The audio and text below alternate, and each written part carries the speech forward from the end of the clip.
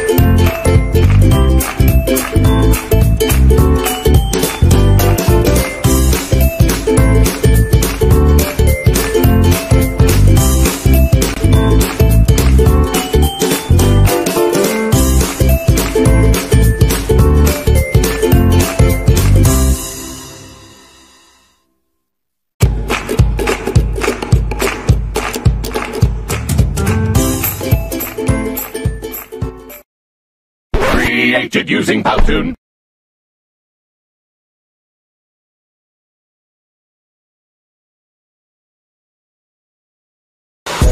Hola, ¿qué tal? El día de hoy veremos un tema muy sencillo pero de mucho valor. Es la metodología de los cinco porqués. Esta metodología nos permite básicamente identificar la causa raíz del por qué surge alguna situación, algún problema o alguna incidencia en nuestro entorno laboral y por qué no en nuestro entorno personal, sin tener que utilizar eh, metodologías más complejas como por ejemplo la de causa y efecto. Esta metodología inicialmente fue introducida por Toyota y básicamente consiste en preguntarte por lo menos cinco veces el porqué de cierta situación. Esto no es una regla estricta de que tengas que preguntarte cinco veces el por qué. Pueden ser más o pueden ser menos dependiendo de la dificultad o de las respuestas que se vayan dando a las preguntas. Si ya no encuentras una respuesta para la pregunta del por qué, quiere decir que ya encontraste la causa raíz de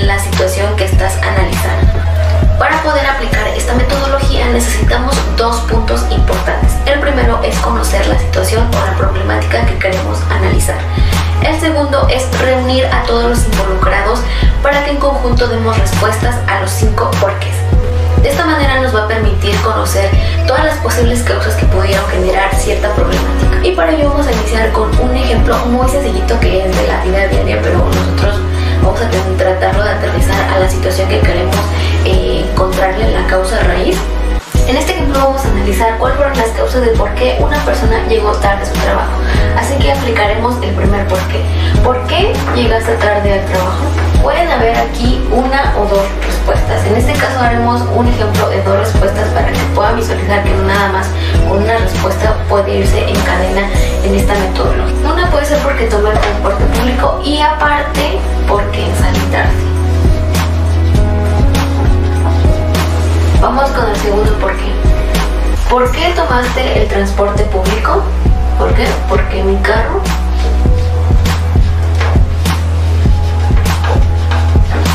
no encendió.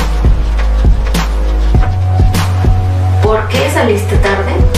Me quedé dormido. Vamos con el tercer por qué. ¿Por qué tu carro no encendió? tenía baja la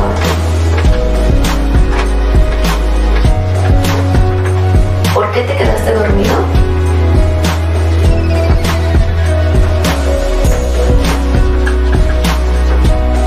Vamos con el cuarto porque ¿por qué tenía baja la batería?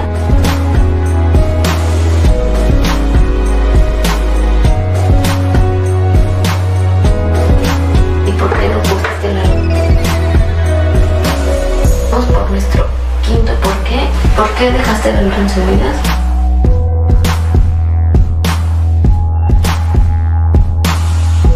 Y en este último caso ya no habría respuesta a la pregunta de ¿por qué se te olvidó? Por lo tanto, estos serían los verdaderos motivos del por qué esta persona llegó tarde al trabajo. Puede haber casos en el que se pueda dar dos o más respuestas a una pregunta. Por ejemplo, si en la pregunta ¿por qué tenía baja la batería? se diera otra respuesta como ¿no dura la batería? Tendríamos que dar seguimiento al porqué de esta situación. En este caso indicaremos que fue por el término de su vida útil. ¿Cuáles serían las acciones correctivas o preventivas en este ejemplo? Uno sería hacernos el hábito de revisar nuestro vehículo para asegurarnos que tanto las luces como nuestro estéreo esté apagado. 2. Cambiar lo más pronto posible nuestra batería, ya que de lo contrario este problema va a seguir surgiendo. 3 Programar nuestra alarma durante toda la semana para evitar estar activando y desactivándola. Metodología nos invita nuevamente a ser como niños y tener esa curiosidad por saber el porqué de las cosas que pasan a nuestro alrededor. Esto nos va a permitir poder mejorar no solo en nuestro ámbito laboral, sino también en nuestro ámbito personal, familiar, sentimental, etc. De mi parte es todo, espero que esta información haya sido de mucho valor para ti. Te invito a que me regales un like si es que te gustó este video y sobre todo te suscribas si quieres seguir recibiendo información como esta cada semana. Ya nos vemos en el próximo. Bye.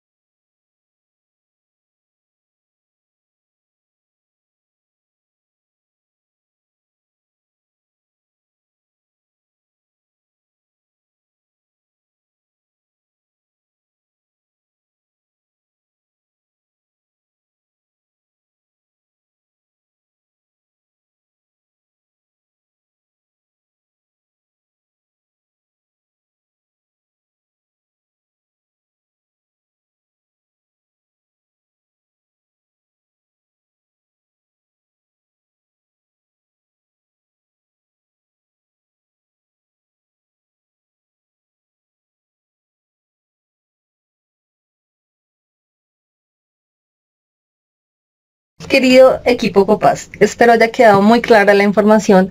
En caso de tener, digamos, alguna inquietud, por favor, eh, comunicarme a través de correo electrónico, WhatsApp o llamada. Eh, antes de finalizar nuestro eh, espacio de capacitación, realizaremos una pausa, pausa activa, la cual para el día de hoy es la de cuello. Espero la disfruten y la realicen a conciencia. Feliz día.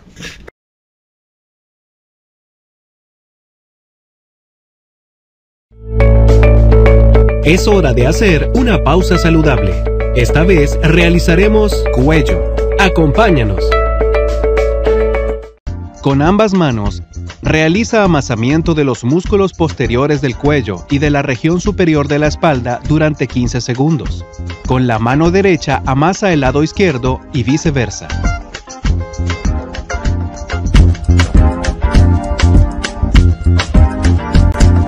Sentado o de pie, y conservando la espalda recta, lleva la cabeza hacia adelante, intentando tocar con el mentón el pecho. Ubica las manos sobre la cabeza, realizando una ligera presión hacia abajo. Mantén esta posición por 10 segundos. Repite tres veces.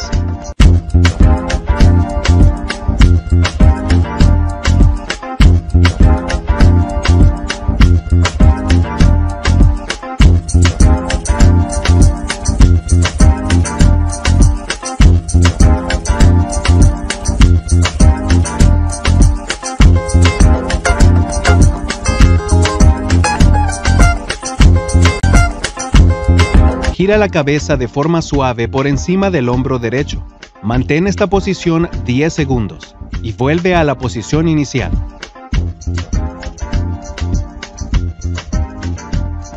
Ahora gira al otro lado.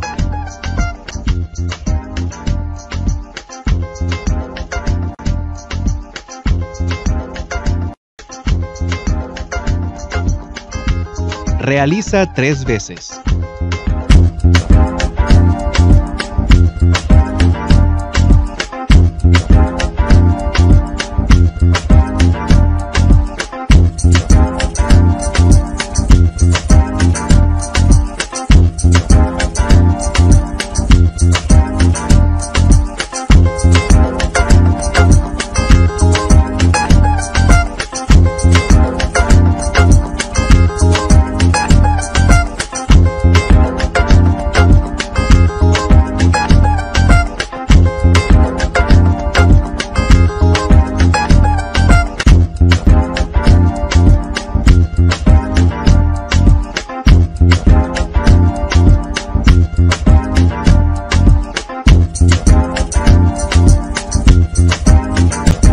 Ubica la mano derecha sobre la cabeza.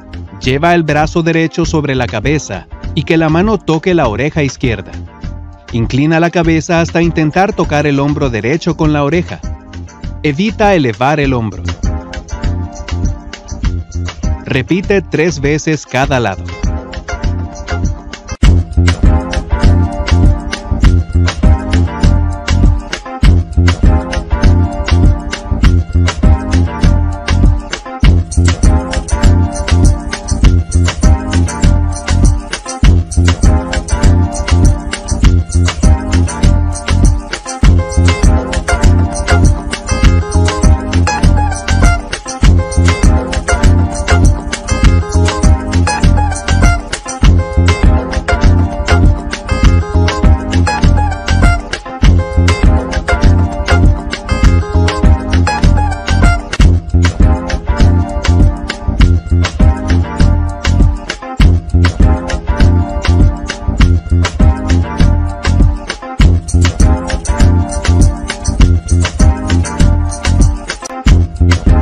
Flexiona la cabeza, intentando tocar el pecho con el mentón desde esta posición, manteniendo el cuello en flexión.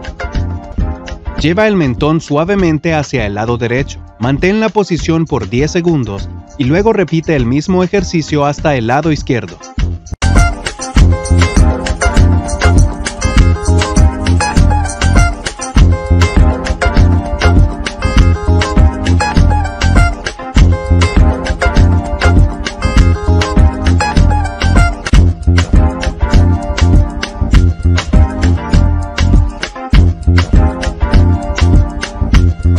Repite cinco veces.